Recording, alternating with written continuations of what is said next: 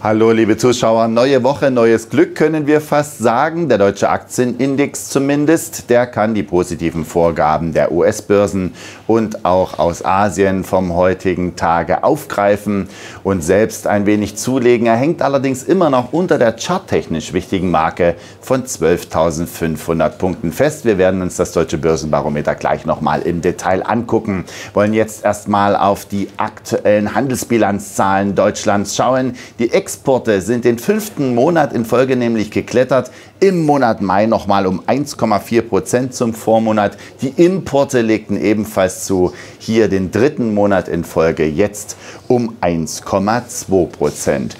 Dann beschäftigen sich natürlich die Börsianer auch auf dem Parkett hinter mir hier an der Börse Stuttgart hauptsächlich mit den Arbeitsmarktdaten aus den USA vom vergangenen Freitag. Die waren doch überraschend gut ausgefallen. Auf der einen Seite war der Stellenaufbau deutlich stärker als von Ökonomen vorhergesagt.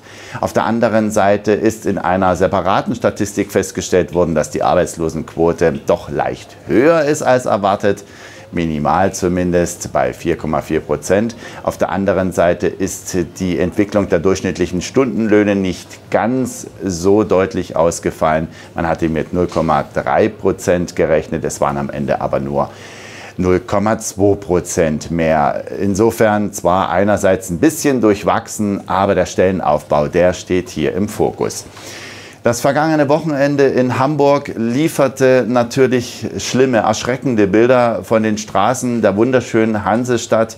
Nur die Börsianer, die fokussieren sich hauptsächlich natürlich auf die Gipfelgespräche als solches. Und hier kommt eine Beruhigung in die Handelssäle hinein, weil es eine gemeinsame Erklärung für den Freihandel gab. Dieses Bekenntnis war ganz entscheidend für den Aktienmarkt. Deswegen nimmt man dieses positiv auf. Schauen wir mal auf zwei Einzelwerte, die heute noch im Mittelpunkt stehen. Beginnen zunächst mit den Versorgertiteln bzw. E.ON. Die waren ja schon am Ende der vergangenen Woche stark gefragt nach Analystenempfehlungen und Kommentaren. Jetzt kommen auch noch die Experten von HSBC dazu. Die empfehlen die E.ON-Aktie zum Kauf und hoben das Kursziel an und zwar von zuletzt 7,90 Euro auf 9,60 Euro.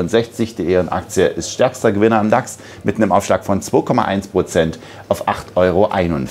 Brenntag ist an der Spitze des MDAX zu finden. Ebenfalls hier eine Kaufempfehlung der HSBC-Analysten. Das Kursziel wurde hier von 50 auf 58,50 Euro angehoben.